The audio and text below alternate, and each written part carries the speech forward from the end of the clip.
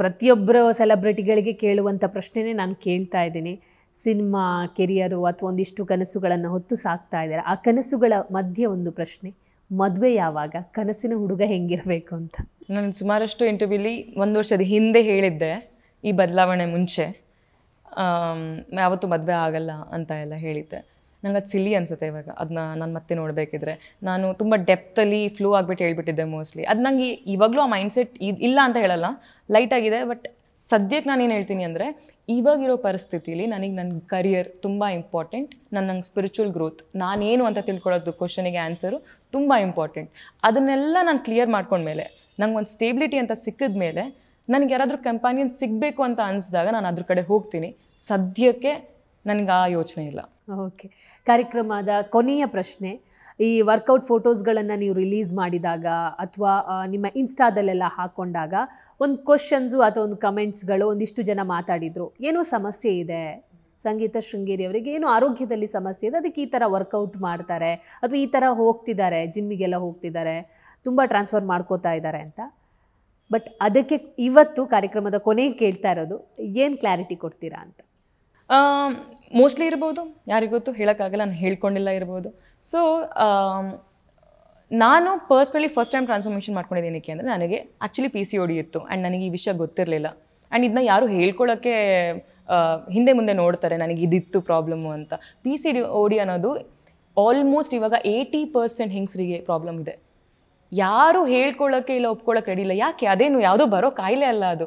ಅದು ನಾವು ನಮ್ಮ ಲೈಫ್ ಸ್ಟೈಲಿಂದ ಆ್ಯಂಡ್ ಇವಾಗ ಸಿಗ್ತಿರೋ ಇಂಥ ಅಡಲ್ಟ್ರೇಷನ್ ಫುಡ್ಡಿಂದ ಆಗಿರುವಂಥದ್ದು.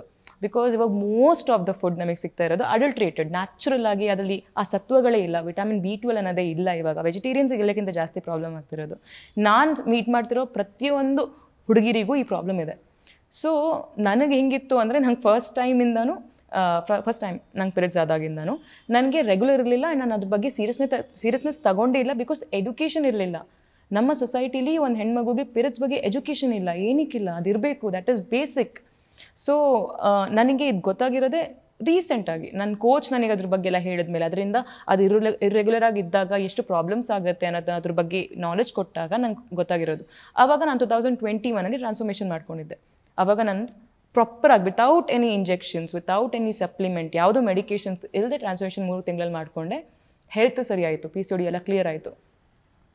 ಎರಡು ವರ್ಷ ಆಯಿತು, ಮತ್ತೆ ನಾನು ಈ ಟ್ರಾನ್ಸ್ಫಾರ್ಮೇಷನ್ ಮಾಡಿಕೊಂಡೆ. ಈ ಸತಿ ನಾರ್ಮಲಾಗಿ ಮಾಡಿಕೊಂಡೆ. ಆ ಪ್ರಾಬ್ಲಮ್ ಅವಾಗಿತ್ತು, ಅದು ಕ್ಲಿಯರ್ ಆಯಿತು. ಸೊ ಎಸ್ ಅಫ್ಕೋರ್ಸ್ ಹೆಲ್ತಿಗೋಸ್ಕರ ಮಾಡ್ಕೊಂಡಿದ್ದೆ.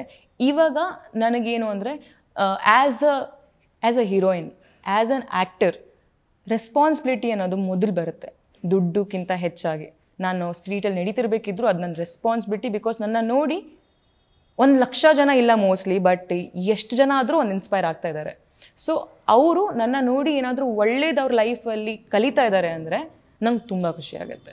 ಸೊ ಹೀರೋಯಿನ್ ಆಗಿಬಿಟ್ಟು ನಾನು ಯಾವಾಗಲೂ ಚಬ್ಬಿಯಾಗಿರ್ಬೇಕಾಗಿಲ್ಲ ಒಂದು ಇದು, ಈ ಬಟ್ಟೆ ಹಾಕ್ಕೊಳ್ಳಿ ಇಲ್ಲ ಈ ಕಾಸ್ಮೆಟಿಕ್ಸ್ ಯೂಸ್ ಮಾಡಿ, ಈ ಲಿಪ್ಸ್ಟಿಕ್ ಹಾಕ್ಕೊಳ್ಳಿ ಅಂತ ಹೇಳೋಕ್ಕಿಂತ ಹೆಚ್ಚಾಗಿ ಈ ರೀತಿ ವರ್ಕೌಟ್ ಮಾಡಿ ಅನ್ನೋದು ನಾನು ಪ್ರಿಫರ್ ಮಾಡ್ತೀನಿ. ಅಷ್ಟೇ. ಪ್ರತಿ ಕ್ಷಣದ ಸುದ್ದಿಗಳಿಗಾಗಿ ವಿಸ್ತಾರ ನ್ಯೂಸ್ ಆಪ್ ಡೌನ್ಲೋಡ್ ಮಾಡಿ.